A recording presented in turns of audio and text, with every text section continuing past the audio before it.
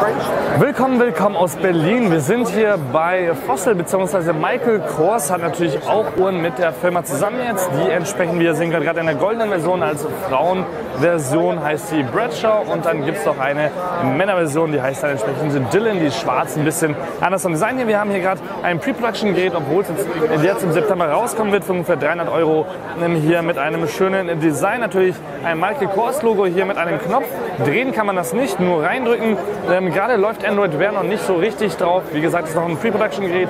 Ähm, aber auf der Seite könnt ihr sehen, wir haben einen Lautsprecher drin. Da gibt es nur ähm, Beeps und andere äh, kleine Laute. Ähm, es kann natürlich auch noch vibrieren, aber das kann man nicht als Lautsprecher benutzen. Und äh, die Seite als Mikrofon zum Telefonieren, die Funktion hat die Uhr hier nicht. Auf der Rückseite ähm, steht hier noch einmal Michael Kors drin. Natürlich auch nicht für Fitnessleute. Während dem Fitnessstudio, an dem Fitnessstudio ist, hat man normal keine goldene Uhr an. Aber wenn ihr wollt, kann ich mal kurz zeigen, wie die weibliche Version hier an meiner, äh, meiner Hand so ausschauen würde.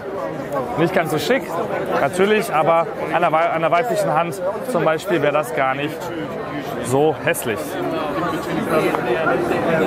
Mach mal ein zweiter. So relativ groß, aber ich glaube bei Michael Kors ist jetzt glaube ich auch nicht wirklich das Problem hier.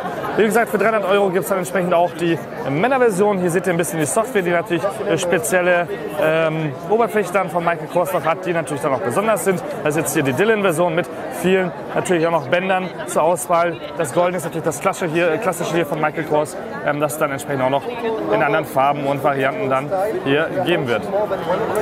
Mein Name ist Balaschkal, das war hier die Michael Kors Smartwatch mit Android. Wer kommt demnächst auf den Markt? Bald mehr Videos dazu, hoffentlich ähm, mit dem fertigen Modell, ähm, das dann, was den Mileage-Chart zum Beispiel auch angeht, ein bisschen besser ausschauen wird. Das ist eigentlich ähnlich gelöst wie Apple hier, aber hier noch nicht ganz so funktionabel. Bis dahin.